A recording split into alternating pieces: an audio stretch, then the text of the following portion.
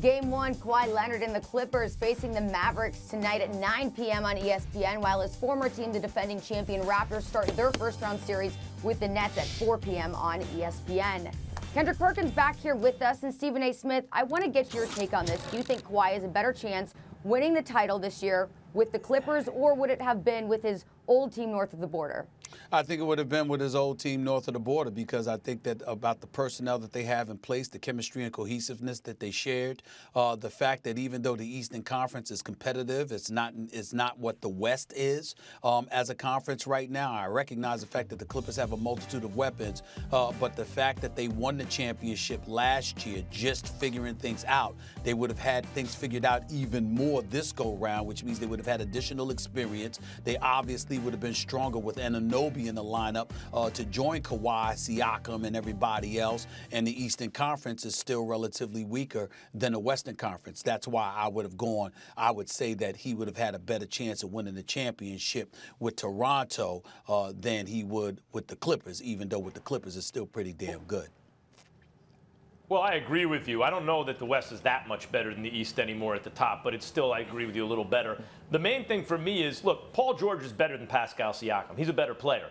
But in the playoffs last year, Siakam stepped up. We have to see if Paul George is going to be a better crime partner than Siakam when it matters most. We don't know that yet. Also, continuity. You mentioned chemistry, Stephen. That's huge. Continuity with Toronto.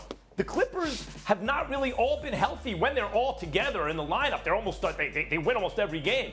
But that hasn't happened a lot. So you have to wonder about their chemistry going into these playoffs, even if they're not as reliant as that on that as let's say a team like the Lakers, just the way they're built. But when you look at Toronto, the improvement of the other players, um, the continuity, Pascal Siakam, the whole thing, I think they had, he'd, I thought he was going to win the championship either with Toronto or the Clippers. I thought Kawhi was the balance of power. I think an even better shot with the Raptors. I agree.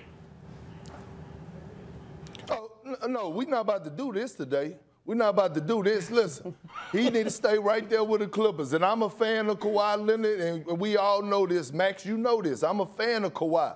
But he chose to leave. He had an option to stay.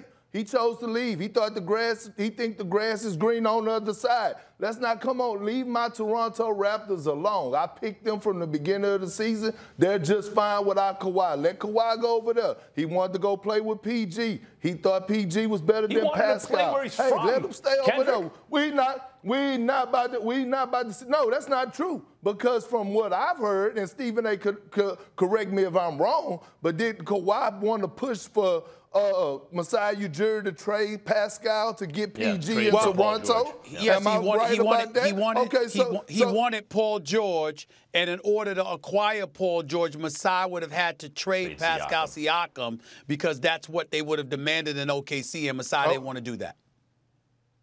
Okay, that's all I'm saying. To Mac's point that he wanted to play at home, that's not true. He wanted PG, I'm so he got it. He let's not like... keep. Let's no. We're not doing this. We're well, not doing this today. He did. We're not he doing did. this I will today. say this. I will say this. Toronto is he just did, fine. He, he did want. He time out. Time out, Max. He did want to be in L.A. And as somebody who is in L.A. at this particular moment oh. in time, I can tell you, I understand. Thanks for watching ESPN on YouTube. For live streaming sports and premium content, subscribe to ESPN Plus.